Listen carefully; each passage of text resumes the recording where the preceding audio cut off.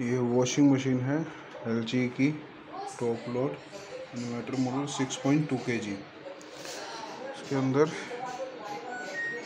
Issue ये आ रहा है कि अगर हम कोई भी मोड सिलेक्ट करते हैं पानी भरने के लिए तो इसके अंदर कंटिन्यू पानी ड्रेन आउट होता है। और ड्रेन आउट का जब हमने फॉल्ट ट्रेस करा इसका तो इसके अंदर इशू ये है कि ड्रेन मोटर जो है इसकी वो ख़राब हो गई है वो रिवर्स नहीं आ रही। वो एक जगह पे जाके टिक जा रही है लॉक हो जाती है, जबकि हमने इसको अभी कोई सप्लाई वगैरह कुछ नहीं दी है। सो अभी हम ड्रेन मोटर को रिप्लेस करेंगे। रिप्लेस करने के लिए सबसे पहले हम पावर ऑफ़ करेंगे और इसको लेटाएँगे मशीन को डाउन करेंगे। सो एक बार मैं कर लेता हूँ देन चेक करो। को चेंज चेंज करने से पहले हमें एक कवर खोलना होगा। इस कवर को सिंपली हम ऊपर की तरफ़ उठाएँगे तो यहाँ से लॉक करके ये निकल जाएगा। ये इसकी डेढ़ मोटर है। डेढ़ मोटर को खोलने के लिए इस पर तीन पेच होते हैं। एक ये रहा ये रहा और एक ये रहा। ये तीन पोच खोलेंगे तो डेढ़ मोटर अलग हो जाएगी और इसका जैक है। इसके यहाँ पे लॉक होता है। इसको हम हल्का सा प्रेस करेंगे तो ये बाहर निकल आएगा। तो इसको मैं पहले निकाल लेता हूँ। फिर मैं आगे कंटिन्यू करता हूँ।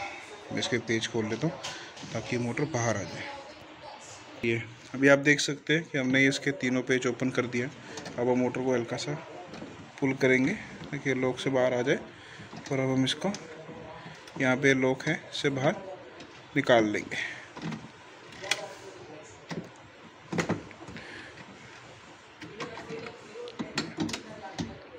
इसको पहले बाहर निकाल लेता हूँ देन चेक करता हूँ। ये हमने मोटर अब निकाल ली है इसमें से, जो ये ख़राब है। और यहाँ पे इसके अंदर लॉक होता है, आपको दिख रहा होगा। इस लॉक के अंदर जाके इसका ये लॉक सेट हो जाएगा ड्रेन मोटर का, और ये अंदर जाके सेट हो जाएगा। चलिए, मैं दूसरी मोटर लगा लेता हूँ देन मैं आगे कंटिन्यू करता हूँ।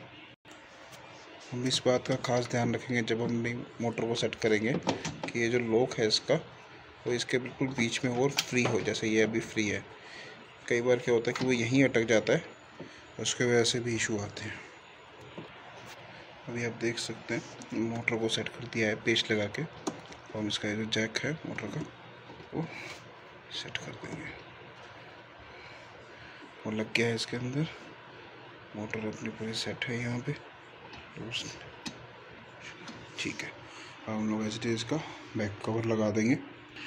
बैक कवर लगाने के लिए इसको लॉक में फंसा के टॉप पे उसको जस्ट पुश करेंगे। तो ये अपनी जगह पे जाके सेट हो जाएगा। अब हम मशीन को सीधी पोजीशन में लाएँगे, उसका बैक कवर के चला के चेक करेंगे। अभी आप देख सकते हैं मशीन को स्पिनिंग मोड में लगा दिया है। कमाड़ यहाँ से दे दी है।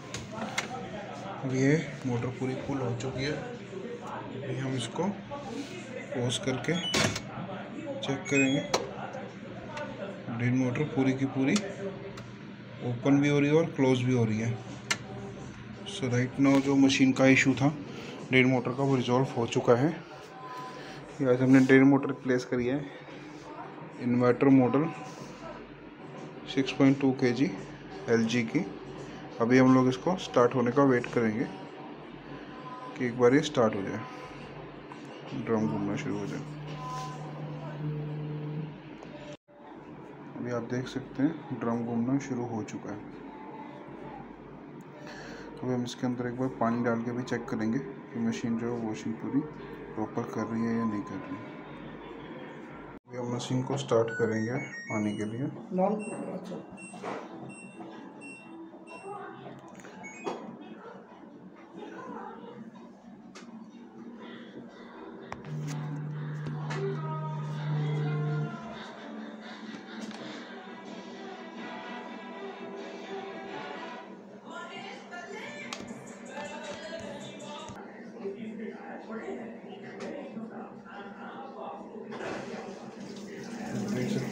पानी आना स्टार्ट हो चुका है। तो हम पानी भरने का प्रॉपर पूरा वेट करेंगे। एक बार पानी भर जाए इसके अंदर। देन में हम आगे चेक करेंगे कि वो प्रॉपर मशीन वर्क कर रही है वॉशिंग या नहीं। जो कस्टमर का इशू था कंटिन्यूसली पानी निकलने का, वो भी रिजोल्व हो चुका है। मशीन में पानी भी भर रहा है ऑलमोस्ट मशीन स्टार्ट होने वाली ही है। थोड़ा टाइम लगेगा अभी। ये आप देख सकते हैं मशीन ने वॉशिंग स्टार्ट कर दी है।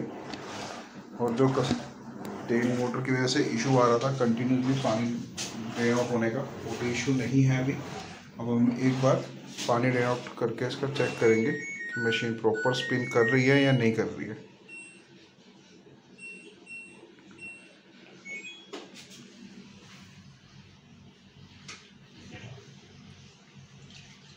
पानी ड्रेन होना शुरू हो गया।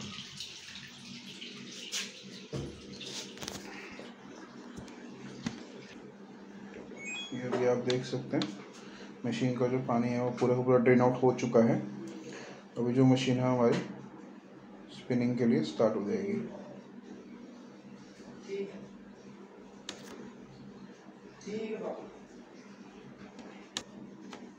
अभी आप देख सकते हैं मशीन ने स्पिनिंग करना शुरू कर दिया है। सो इसके अंदर जो इशू था वो रिजॉल्व हो गया है। चलिए वीडियो में अच्छा लगा चैनल को लाइक कीजिए सब्सक्राइब कीजिए। मिलते हैं अगली वीडियो में।